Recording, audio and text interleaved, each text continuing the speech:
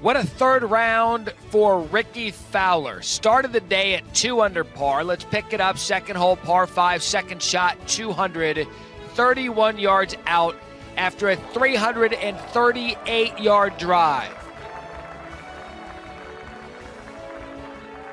The ball eventually settles down 25 foot putt for Eagle for Rickie Fowler. His first Eagle of the tournament to move to four under par.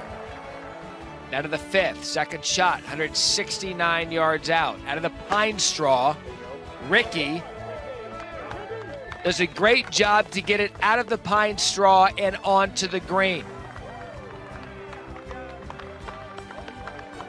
So at that point, hoping for a two putt to save the par, this a 42 foot birdie attempt. Another long putt for Rickie Fowler, three under on his day. Now to the sixth, playing 168 yards on Saturday.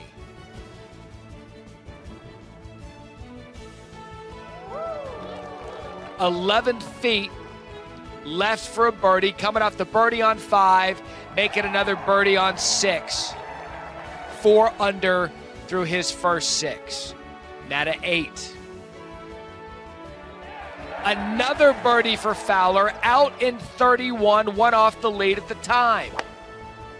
Now to the par 5, 13th, second shot, 254 yards away. And Fowler makes the mistake, goes into the water. Has to drop his third and hit his fourth.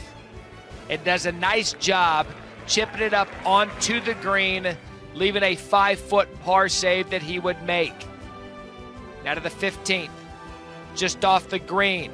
His third shot. Now two feet left for a birdie. Makes the birdie to move to eight under for the tournament. Now to the 17th, second shot, 147 yards out. Great shot by Fowler. Has an eight foot birdie attempt to move to seven under on the day, nine under on the tournament, finishes the day solo third for Rickie Fowler after shooting a Saturday 65.